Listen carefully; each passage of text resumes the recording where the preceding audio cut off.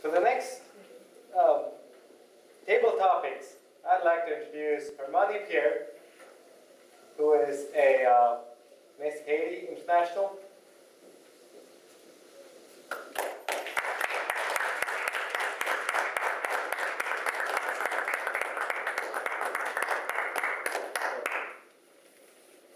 Good evening.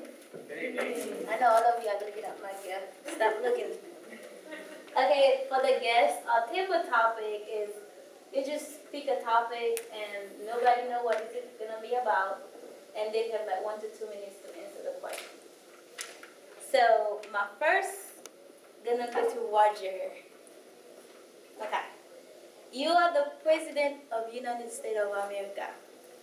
The militant Al-Qaeda units had just captured a group of American missionaries during the relief work in Somalia. You knew where they've been held, and you have all the military aspect in your disposal. The terrorists are demanding a list of unreasonable conditions for their release. How would you solve this problem and win the missionary freedom? What if they tell you they're gonna kill one missionary a day until you can find their freedom? How would you do that?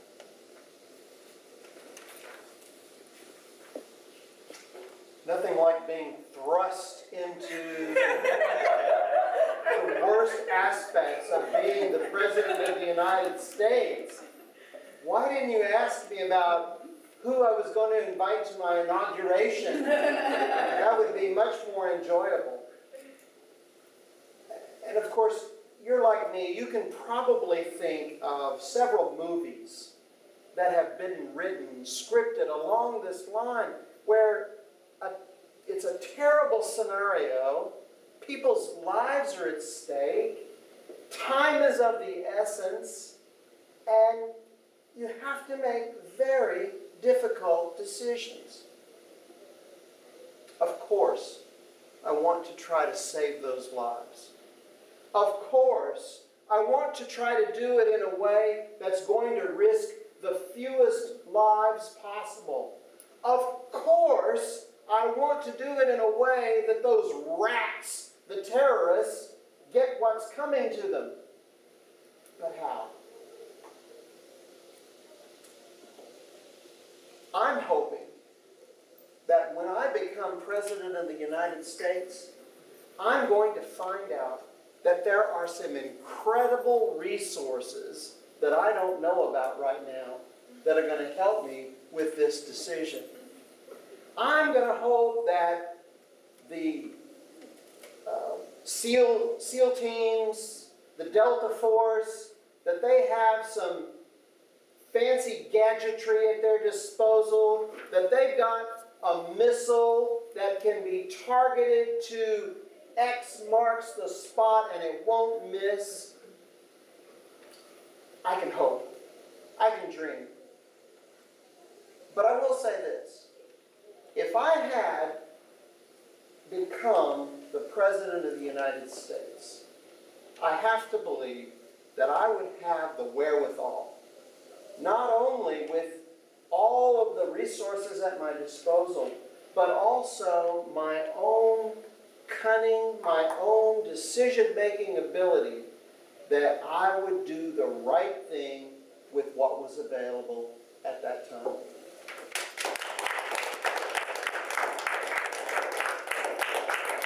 Thank you, Roger. Number two question go to Michael.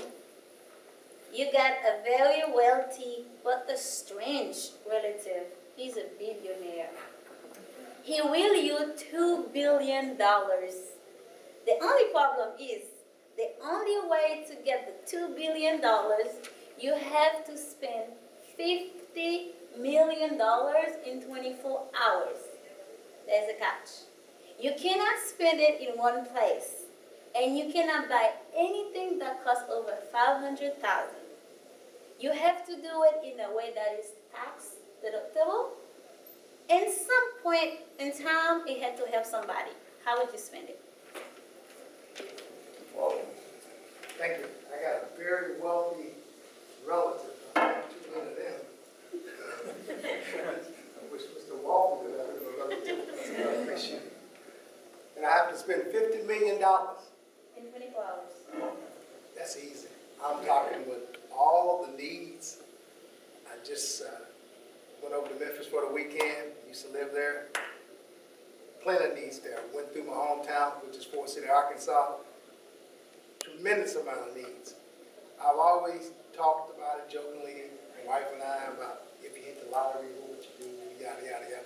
And as always, I gotta give away half of it. So my half will be fifty million of it. So that's just like hitting the lottery, even though a relative gave it to me. I could think of all the needs from the, uh, starting first with education. I, I'm sure I could drop twenty-five million in Little Rock alone on education. Not just for the kids' school supplies, the kids' coats or anything else they might need. But I set up a big time college fund that will guarantee any kid in, in, in high school that will uh, finish school, finish school, you can go to any school of your choice. That's my fifty million. That's how I spend it.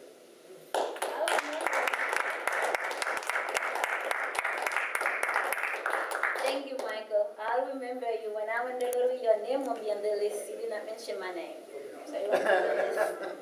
Okay, the third question will go to Will. If you are the VP of membership of the Toastmaster of Little Rock, what are some activities will you conduct to keep a group going? And how would you partner with the VP of Toastmaster of Little Rock to make it happen? Honey, appreciate that question. But you know, last year I was the VP of.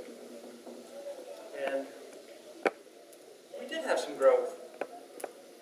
I didn't really do that much though. I'm part of a really good club because I have a lot of support from everyone else in here. I know that Aaron last year really came out strong on the website.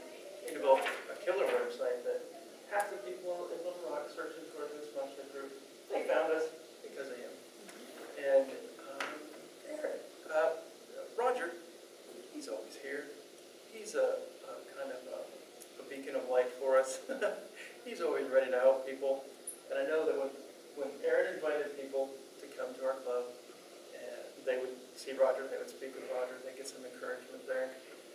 You is Will Atkins still in this club? Yeah. He moved, okay. Well, I haven't been around for a while. But Will,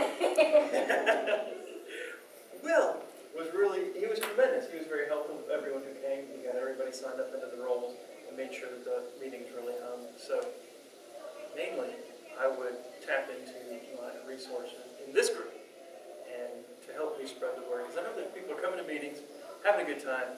They're going to take that out there. They're going to talk to people. It's going to bring more people back in. So, if I become VP of membership again, that's where I would put my focus. First on this group, and then developing activities outside.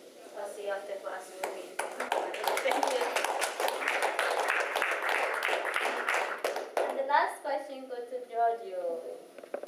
Giorgio, this is the nicest class out of all the group in Arkansas, and we all love it. Can you tell our guests what are some important things on our class and why we love this class? Thank you, Table Topic Master. I was uh, sharing to Frankie, actually, as a matter of fact, in the beginning of our class, uh, why I chose this class. I when I when I was a guest, and that wasn't that far ago, maybe a few months ago, and I toured actually a few Toastmaster groups in the Rock, and participated in, in those meetings as a guest. Wanted to gauge a feeling how the meeting is conducted, what who are the participants, what kind of uh, procedures they carry, what kind of how they critique the speeches, and uh, just am I able to establish a friendship, a relationship with those people uh, where I would feel comfortable and uh, to really work on my problems as a public speaker, overcome my anxiety, my fears, and be able to take the podium and uh, really grow professionally, personally. And I found this group to be very motivating, very encouraging, very warm and friendly, very simple to a level where it accepts you, it helps you along, gives you the motivation you need, and but also gives you the critique when you need it in a friendly, acceptable way. So, in conclusion, I joined this group because it's one of the best in the world. Thank you. The St. Jordan's, give me a T. give me.